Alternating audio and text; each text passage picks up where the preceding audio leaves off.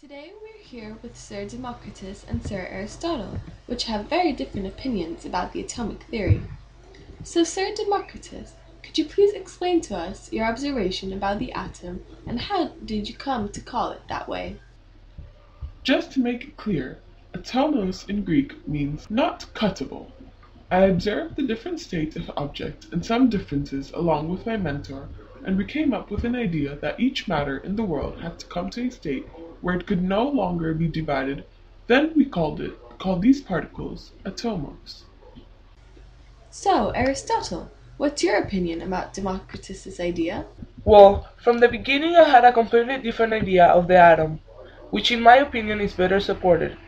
I thought that all atoms in the world are created from four elements, which are in nature. Of course, those elements are fire, water, earth, and air.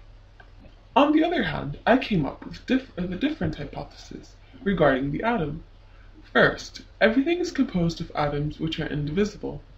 Between atoms lies empty space. Atoms are indestructible. They are always in motion. There are infinite numbers of atoms, and atoms are different in shapes and sizes. In my theory, there are four qualities of those elements dryness, hotness, coldness, and moistness. Thank you for your time, Sir Democritus and Sir Aristotle.